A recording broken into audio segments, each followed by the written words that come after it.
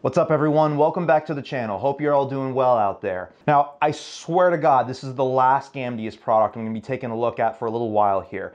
They were gracious enough to send over quite a few items from their product stack for me to take a look at. So before I move any further, I just want to give a huge shout out and thank you to Gamdias for sending these products over for me to take a look at. Now what we're looking at today is their Athena M2. This is a $100 ATX mid tower that kind of sort of has a lot of the things that I asked for in the Argus M1 review that I did a little while back. So let's dive in and take a look at what this case has on offer and see if it's worth the $100 asking price. Also, before we dive into this case, I want to remind you, I've started putting timestamps for these types of videos down in the video's description because my case reviews tend to be a little bit lengthy. So if you just want to jump around to the stuff that's most interesting to you, down in the video's description. So to start off, we'll address the ATX mid-toweredness of this chassis.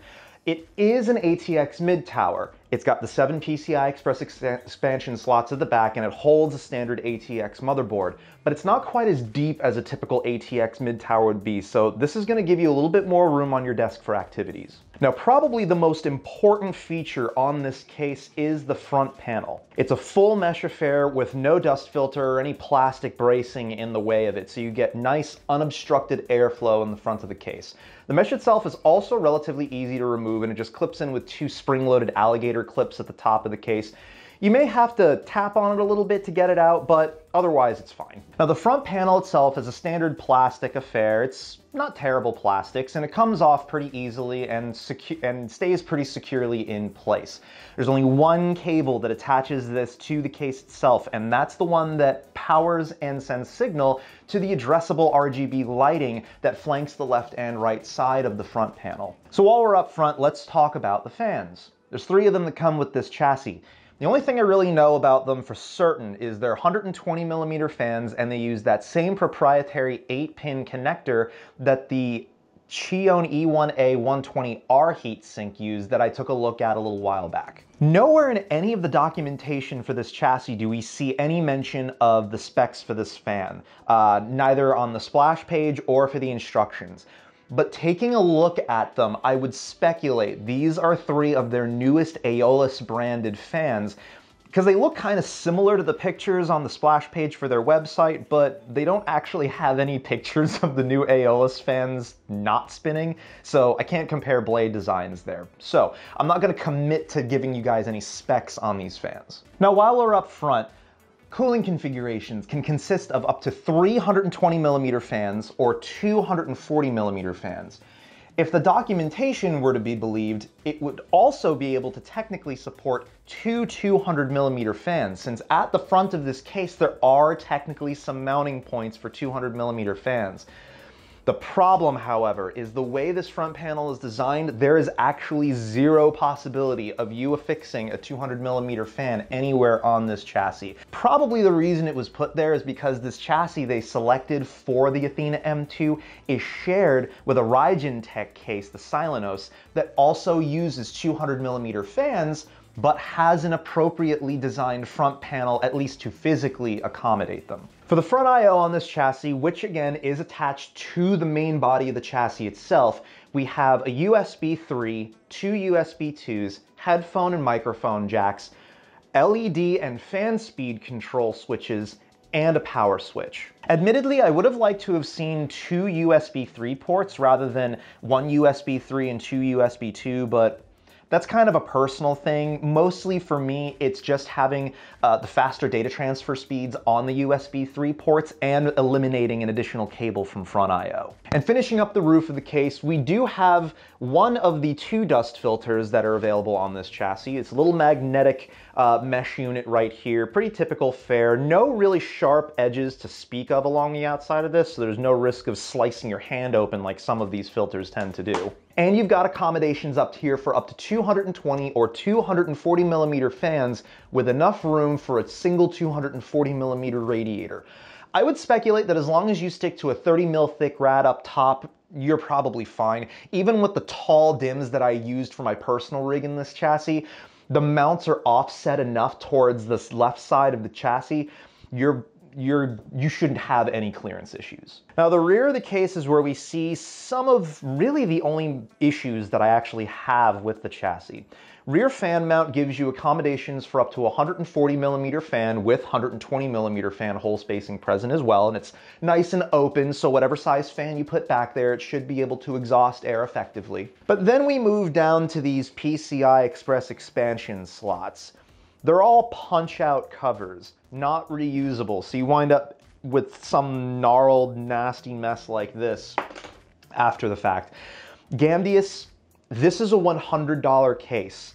$100 cases should not have these punch out covers on it. I would seriously reconsider your stance with this and include seven replaceable covers for these PCI expansion slots. Also, get rid of this like sliding bracket thing here. It effectively does actually nothing for anything that's connected in these slots. Like it, it doesn't even close enough over the, uh, the bracket for my graphics card with any sort of meaningful pressure to help hold it in place while I'm affixing the screws. And while we're back here, it's a pretty standard PSU mounting situation. No, uh, no cover plate to, uh, to help you slide the power supply in when you install it.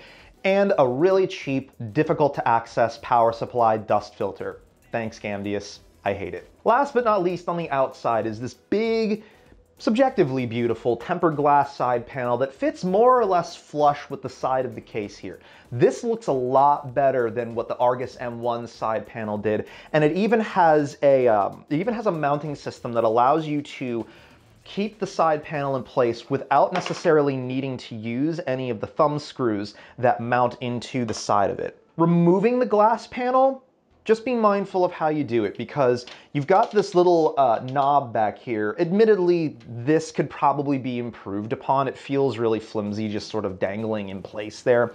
But when you push it towards the outside of the case, you're gonna wanna have your hand underneath the glass because when the panel pops out, there's really not a whole lot of the glass that's still resting on the chassis. And if this falls onto your desk onto one of those corners, you run a higher risk of breaking this glass panel along with shattering your hopes and dreams as well. Now I do wanna mention this glass is very heavily tinted. So unless you've got a lot of addressable RGB components on the inside of your case, you're probably not gonna see much of the interior. Now that said, this tint has a bit of a green shift to it. It's not super intense, but I did notice that white lighting especially appeared just the slightest bit green looking through the side panel. So take that into, into consideration when you're adjusting all the lighting for your unique case configuration. All right, so as you can see here, I already have my personal rig installed into the case and by and large, this, this, this chamber was really easy to work with. I did need to install three of the motherboard standoffs myself, but that's really not a huge deal at the end of the day.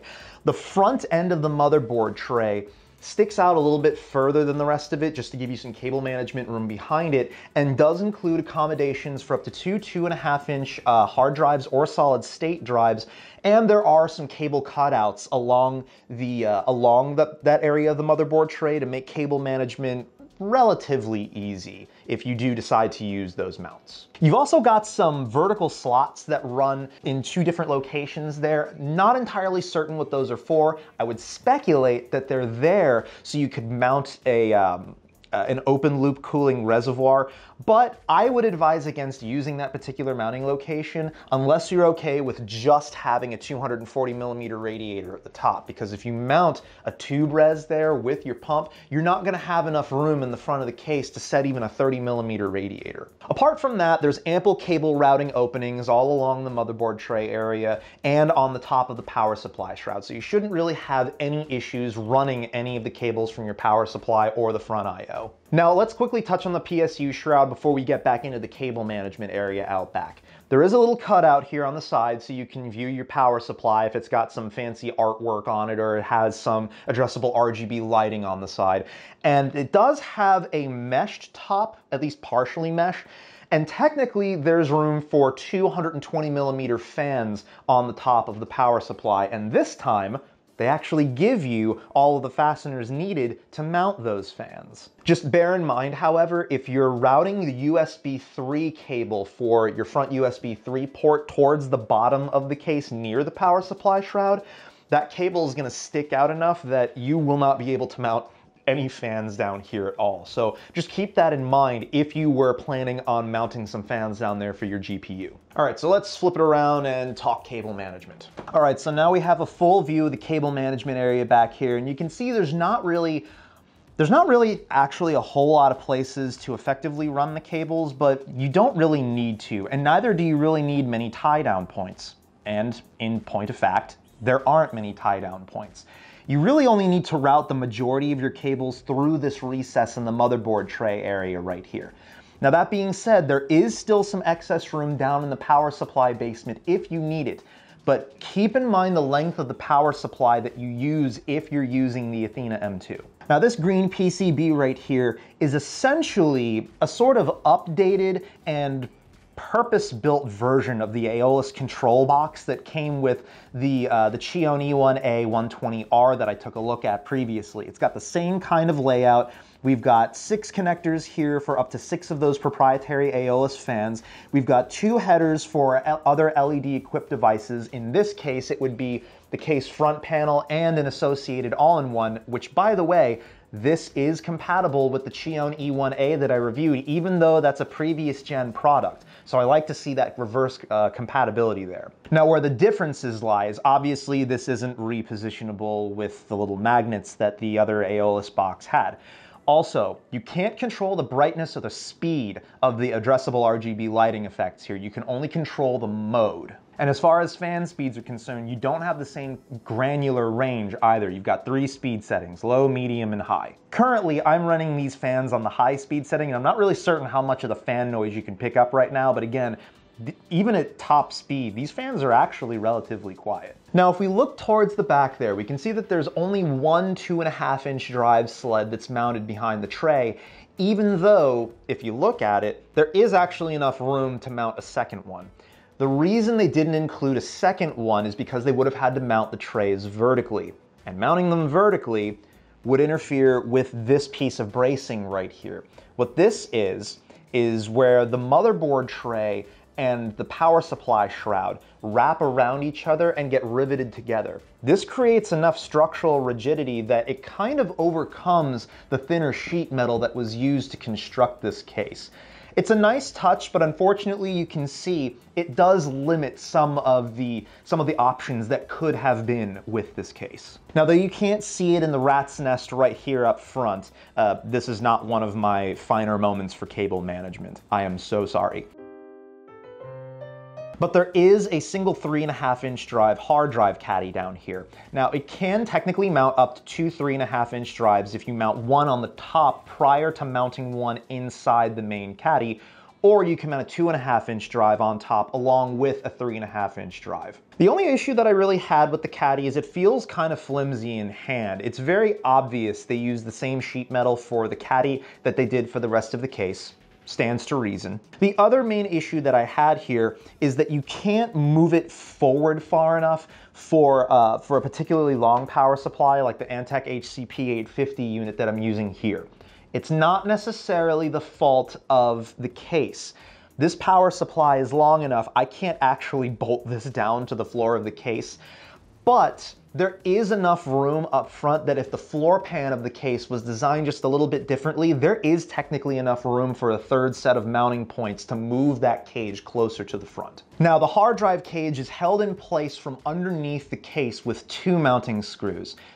Lo and behold, removing these screws had the paint doing the same exact thing it did on the uh, Argus M1 that I took a look at. It just, it flaked off really easily there's also another section back near the power supply area where the paint did something very similar. I personally would like to see the paint undergo better QC checks because it's apparent that the finish here isn't as durable as it could be. It's unreasonable to expect this paint to ever be bulletproof on a case. No paint is invulnerable. But neither should it flake off like this stuff's doing. It doesn't portray uh, the kind of quality that you would expect out of a $100 case. All right, so let's quickly touch on the addressable RGB implementation here. It's actually surprisingly clean. I personally think this looks even better than the Argus M1 implementation on the front panel. The lighting is really well diffused, transitions between colors are really solid, and as you're seeing on the screen right now, the pre-programmed settings actually look really damn good. Now, you can synchronize this lighting with your motherboard, so if you're using an ASUS, MSI, Aorus, or an ASRock motherboard that has their associated uh, RGB lighting control system on them, and there's an addressable RGB header that's freed up, you should be good to go. And I can actually confirm compatibility with RGB Fusion 2.0 since that's what this motherboard uses. All right, so let's talk thermal performance because that's really gonna be one of the biggest selling points for a case like this that has a full mesh front panel. While I throw the results up on the screen, I wanna mention a couple of things. First of all, my testing system and methodology are listed down in the video's description for those of you that are interested. But the other thing to note here, while the B-roll is showing my MSI RTX 2070 Gaming Z, my testing was done with an EVGA 1080 Ti. The other thing to note is that the Argus M1 and the Meshify S2 that I tested with were using a different fan configuration. Those cases were using six Fractal Design Prisma AL12 PWM fans at a fixed 1000 RPM. Whereas the only fans that I used for testing the Athena M2 were the included fans, and they were run at their peak fan speed, which I speculate may be around 1500 RPM, but again, without knowing exactly what these fans are, I can neither confirm or deny that. But we can see here, out of the box thermals are actually pretty damn decent with this case, especially considering it had half the quantity of fans that the other case configurations had going for them. All of my clock speeds for my CPU and my GPU were also remaining more or less in the same general range as they did in any of the other cases that I've tested recently. So as far as thermal performance is concerned, there's really nothing to worry about with this case. All right, it's conclusion time with the Athena M2. Let's talk about the good stuff first, because there's actually quite a few good things with this case. Thermals, no complaints here. Out of the box, thermals look really solid for this case. And as a result, the cooling potential is still there too, because remember, there's up to five more fan spots that you can populate on this chassis to get even more air moving through the case, assuming of course you need it. Remember, your individual configuration may vary in terms of what is and isn't effective for you uh, as far as fan size and placement is concerned. I also like the physical footprint for this case because it's more shallow than a typical ATX mid tower, there's just gonna be more room on your desk and it's gonna make it easier for you to keep everything laid out exactly the way you want it to and not have this get so much in the way. Cable management is also really solid here. I mean, there's really not a whole lot of places you can route the cables, but that's kind of a good thing. It takes some of the thought out of it and allows you to just basically slap everything in there like I did and know you're not gonna have any problems getting the side panel closed on this thing. And that's especially true if when you populate more fans into this chassis, you stick with the Aeolus branded fans that plug into the control hub back there. Since it only has one cable, you don't have to deal with the additional addressable RGB cable spaghetti monster nightmare that tends to happen with addressable RGB lighting configurations. And on the topic of lighting, I'm a huge fan of the lighting implementation here. I mean, right now I'm using one of the stock lighting configs and it, it looks killer. And lastly, noise. Because all of my hardware was kept nice and cool, and because these fans are actually pretty decently well built, this case really doesn't make a whole lot of noise, so it's gonna stay out of the way for those of you that don't use headphones while you're gaming. But there is some bad with this case, uh, chief of which are some build quality concerns that I had. The thinner sheet metal I can sort of excuse considering how they went about bracing the chassis to give it more structural rigidity. What I was not a fan of, however, was the fact that they just kept these punch-out PCI Express expansion slots. I really, that doesn't feel good on a $100 case. I'm also kind of bummed that the control hub still doesn't provide PWM fan speed control for any of the Aeolus fans here. Remember, that proprietary connector means you can't just hook these into a motherboard header and expect to be able to control fan speeds. You basically just have the three fan speeds that are set for the top of the case. Also not a fan of how difficult it is to access the power supply dust filter and ultimately how cheap that solution is. And then lastly, the mention of 200 millimeter fan support here is kind of disappointing. There's one of two things they need to do here. Either one, they need to revise the front panel so that it still has that clean meshed front look with the addressable lighting running down the side and still allow you to accommodate 200 millimeter fans or they need to just straight up remove it from the documentation entirely. But even all that said, this is actually the strongest showing from Gamdias so far. At its $100 price point, again, this is a really heavily contested market, and there's a lot of really strong cases at that price point that, for the money, I personally would consider before the Athena M2. But if you can pick up the Athena M2 on a discount, like if you can find it on sale for somewhere around like 80, 85 bucks, it's actually not a bad case. Anyway, sound off in the comments down below. What do you think of the Athena M2? And those of you out there watching that have built in this case, what were your build experiences like? Did you have any of the same issues with the paint that I did? Uh, were there any other build quality concerns that you had? Because I'm certain Gamdias is going to be taking a look at this video, and I know they would love to hear about anything that they need to address with this moving forward. And as always, toss a thumbs up on this video if you liked what you saw. Make sure you get subscribed and hit that little bell icon to make sure you're caught up every single time I upload another video, and I'll catch you all next time. So take it easy.